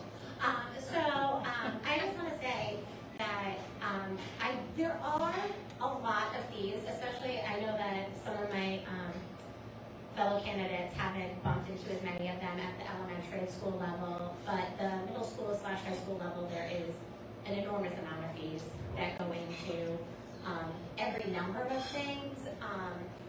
And I think that I would love us to see to see us have no fees. That's like my goal. Um, given that that's not probably immediately possible, what I would like us to do as a first step is to build back in some respect and dignity for people who want to participate in things but can't afford them. Currently, there's no easy out option. You can't, if you don't pay a sports fee, which has happened to me in the past because I'm not always as timely about things as possible, you get an email that says you didn't pay your sports fee, your kid can't play sports unless you pay your sports fee. You don't get a friendly little notice that says, hey, if this is a hardship for you, let us know because we want your kids to play sports no matter what. We, you just get an increasing level of, um, you know, we have, it's amazing that all of our kids have Chromebooks now in school, but you, we want parents to spend seventy dollars buying an insurance policy to cover that Chromebook. That is a nothing expenditure for every family. But now, it's not like I can say, well, I don't want my kid to have a Chromebook. We're requiring parents to pay for that seventy dollar insurance fee. Where, you know, all of the clubs, all of the drama, all of the, you know, essentially everything at the high school level besides math, um, English and those things has a fee. So I think the, it's the most important first step towards us eliminating fees because regardless of what we say, having a fee makes it so that less kids access those things. There's just no way to pretend that it doesn't limit access. So the first step is to make it as as easy as possible and for people who need assistance to just get that assistance rather than making them come to whoever the supreme ruler of the system and say, hat in hand, I can't afford this, but I want my kids to participate.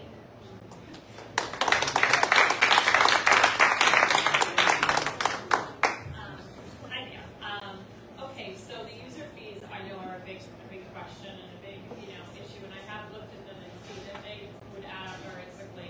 Um, obviously, um, the fees are there for a reason. This stuff is expensive.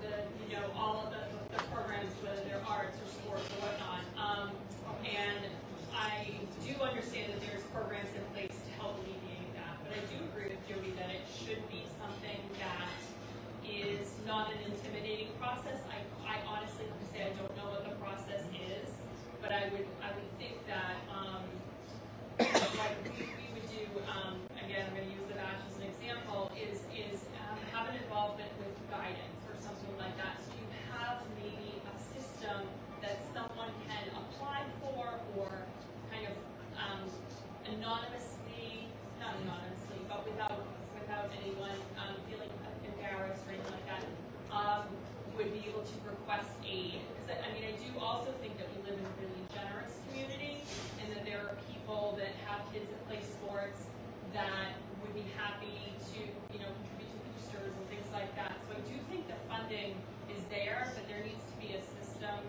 Um, and I, again, I apologize, I don't know the current way of, of reaching out for aid is. Like I know sometimes it's if, if someone is uh, um, eligible for like a reduced lunch program. But um, of course, because there's, there's there should be no barriers between a child, a student wanting to participate in an activity and actually being able to do it. Um, so I'm gonna, I do think that, um, for people that can't, um, there should be like an equation, I would imagine. Um, and I, like she said, reduced lunch is the only kind of fee I really am privy to. Um, but with the user fees for athletics, um, they're put in place, um, for many years. Um, and, you know, if people can't afford that, imagine there has to be like an equation a qualification for that. Um, On the other side of it, you know, for adults, if we're, if we wanna go to the gym, we pay a gym membership. Um, it's not free for everyone, there's that. Um, I do know in taxes, everyone, household pays different amounts of taxes, and we're all getting the same education, there's that that plays into it too. Um, just thinking outside the box, so I do think fees help pay for the activity that's happening. I definitely don't think it should be, you know, only the kids that can afford it, that can play it. There should be help for um, those kids that couldn't have it happen on their own with the funding and fundraisers. But I mean, there definitely needs, someone needs to be paying also for, or help pay for all of these extracurricular activities that we're offering and other things that are going on in school. Means testing. um, it, it, it does make some sense. Uh, I mean, if you can afford to pay, uh, that's great, and if you can't, then, then having some opportunities to participate. I, I'm a huge fan, as I've in the fact, in the past, uh, about having opportunity and inclusion for for activities. Swims and skates and plays soccer and likes theater and wants to learn how to play an instrument and um, I, I will say when I, believe it or not, I actually played sports and I don't look like it. Um, a long time ago, we did actually have fees. Um, and, and even back then, I, I thought it was odd, but obviously there are expenses that go into these. And there are hard choices that have to be, that have to be made when you think about a budget. Pay for, pay for user fees, have another adjustment counselor, or do we reduce the cost of kindergarten, which is also about inclusion? Um, I, I actually don't mind the concept of, uh, of means testing.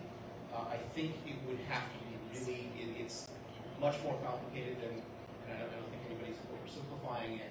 Um, I, I think it's a little more complicated than just doing that, but I, I certainly think it, it could be worth a look, if, assuming, you know, that's something that's been done in other towns. I would look to others for guidance on that see where what other towns have done for inclusion, um, and see what A is permissible and B, because you know it, it's not as simple as just saying what is a means test um, to make sure it's fair. So I, I, would look to see what other towns have done for that sort of thing. Um, but it, these are very difficult decisions because money from one place uh, is valuable uh, to someone else or to something else. So uh, anyway, thank you. Great question. That was a, very, very key question to be asking because there are a lot of children in North who cannot afford to play in sports. And it's the have versus the have-nots kind of scenario.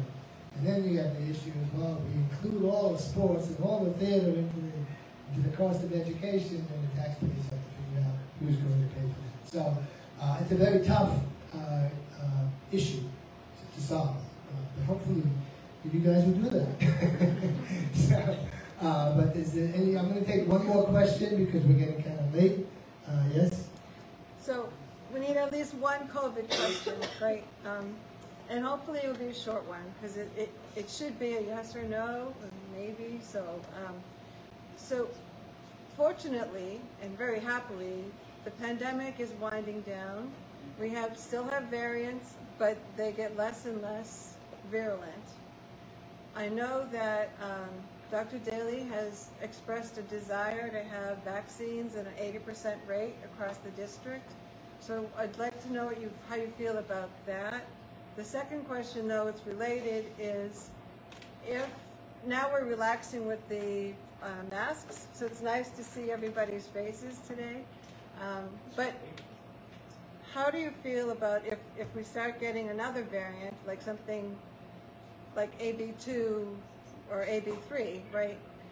How do you feel about reimposing the mask mandate? Should they be mandated or optional at every grade level?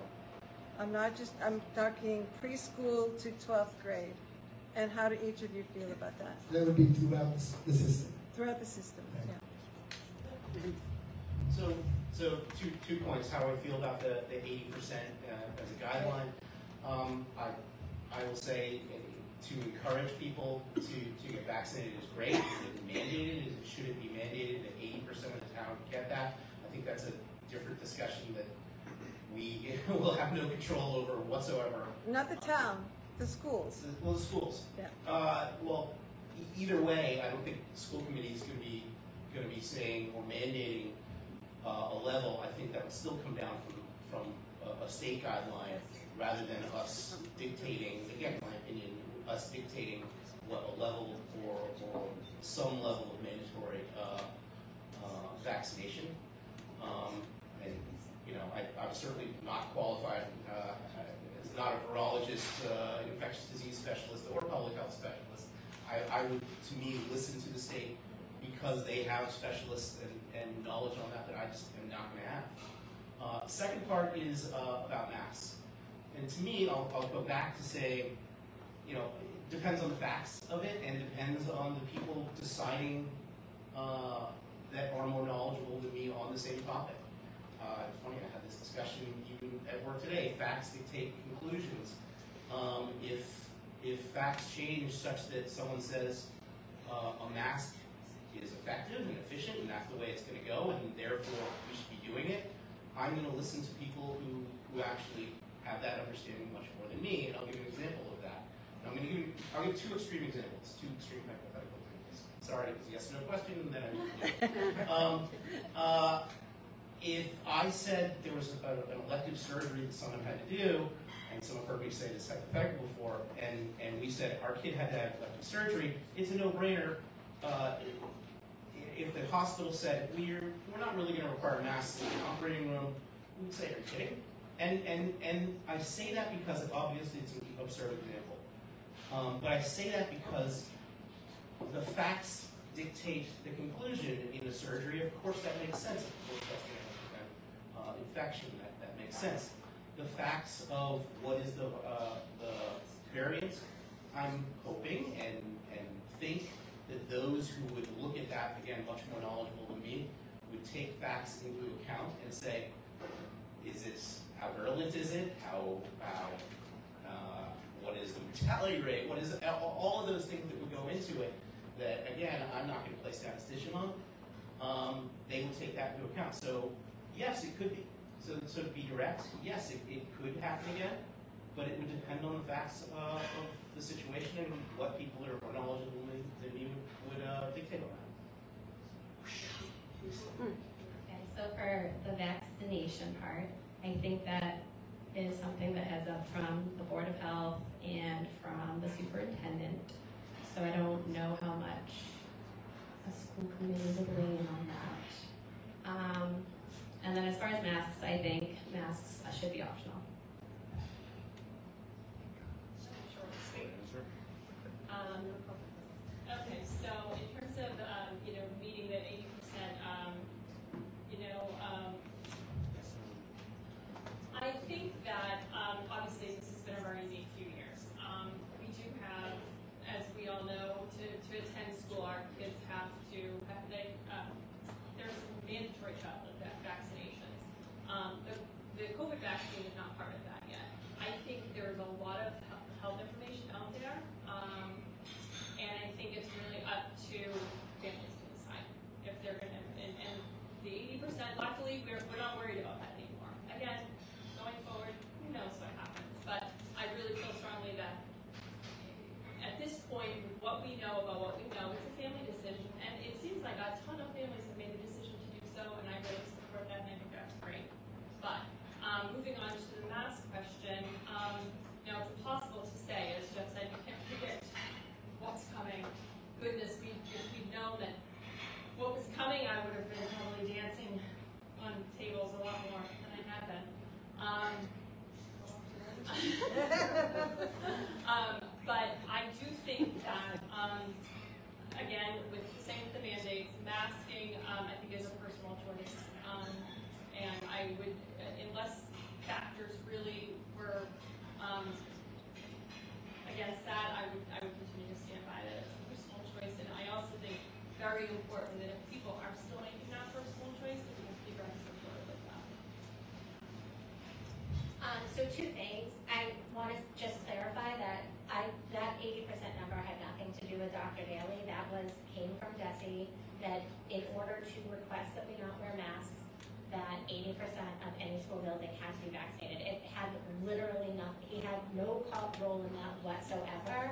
He was following guidelines. And I understand that for some folks, not following, following guidelines is optional, but the reality of the situation is that that is how we get money for our schools. So forget sports, if we want to still have math, we have to follow NICE guidelines.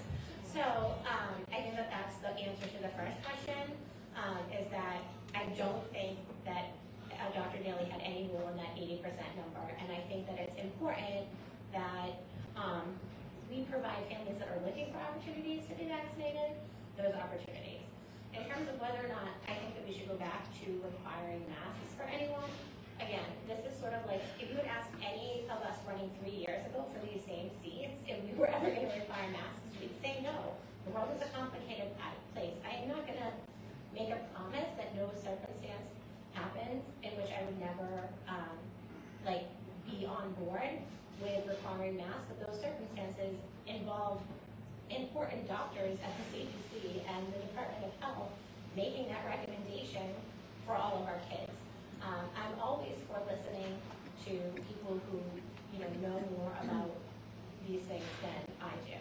And I'm just gonna take two quick points of personal privilege. One is if you didn't get your answer, if question gets asked your question, feel free to talk to me afterwards. I don't know if these other lovely candidates would like to do the same, but I know there were some hands raised when we did our last question. And lastly, I just want to be clear about means testing.